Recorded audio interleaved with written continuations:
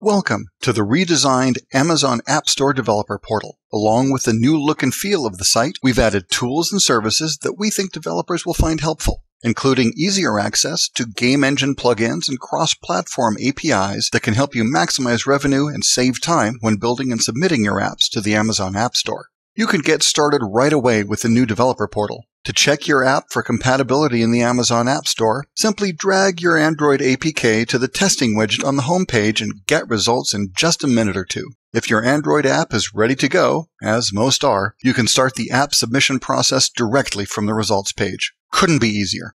Looking for a list of all of the Amazon App Store APIs and platform compatibility? Just visit the dedicated API page to find implementation instructions and sample code for all of the App Store APIs available for iOS or Android, including Game Circle, in-app purchasing, and A-B testing. You can also use the site-wide search tool in the top navigation bar to get you to the page you're looking for right away. Whether you build games, mobile apps, or HTML5 apps, the Getting Started page contains links to help you deploy on iOS, Android, PCs, or Macs. You can also learn about the Kindle Fire line of devices and find plugins and extensions for cross-platform engines. On the resources page, you'll find development tools, marketing tips, and promotional programs like App Store Developer Select, which could help you get free marketing. The resources page also has learning resources, which include how-to videos, webinar videos, and case studies. The documentation section of the resources page has links to Kindle Fire device specs, help for setting up your dev environment, app submission tips, and links to additional marketing information.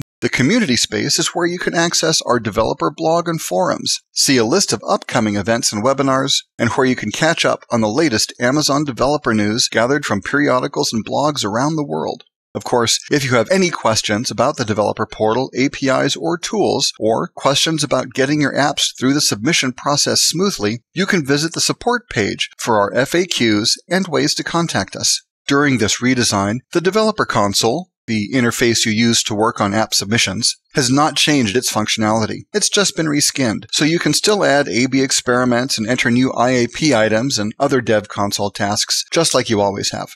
Take a look at the new developer portal now and explore the tools that can help you monetize more effectively, increase user engagement, and put your app in front of more people in surprisingly little time. Thank you.